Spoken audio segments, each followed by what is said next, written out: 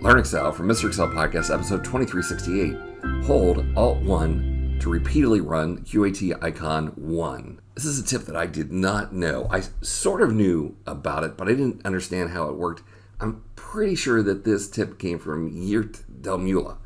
What I did know is that the first nine items in the quick access toolbar have a pretty cool keyboard shortcut. So I'm going to press and release Alt and allow the key tips to appear. So you see the numbers 1 through 9 would allow you to run whatever icons you have as the first nine. And you said, you know, take the icons you use all the time and move them into that position, right? So I have increase and decrease decimal. I have insert a plus sign, and then five and six will be increase and decrease font size. So in theory, here let's just put a number in here equal rand. The way that I thought that this would work is if I wanted to decrease decimals, I'd have to press Alt, release, and press 2. Alt, release, and 2. But no, that's not the fast way to do this. It turns out if I hold down Alt 2, uh, it will run whatever icon is in that position repeatedly. So here I'll just hold down Alt 2, and you see we get back to 1. Let's make this wider, and I will run uh, increase decimal. So hold down Alt 1, just keep holding it down, and eventually we get so wide it's wider than the uh, cell. Alt 2, and we can decrease decimals.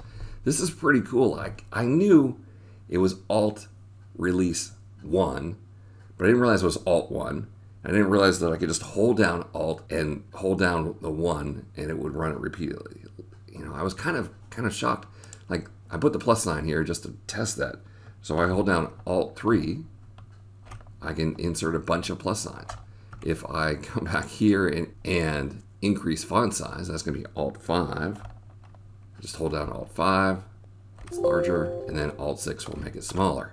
Yeah, I, am I'm, I'm a little surprised. It's a great tip. I don't know why I thought I'd have to press and release Alt uh, to pull this off, but uh, very, very cool. that You can just hold down Alt 1, Alt 2. Now, maybe you already knew this. Maybe this is just so obvious. Now that I'm talking about it, it's like, well, why, why wouldn't I have thought that that would have worked? You know, a lot of things like open or clip, you wouldn't, you couldn't run these repeatedly. You couldn't just hold down the icon and run it. Uh, so maybe that's why I didn't know. I'm, I'm not sure.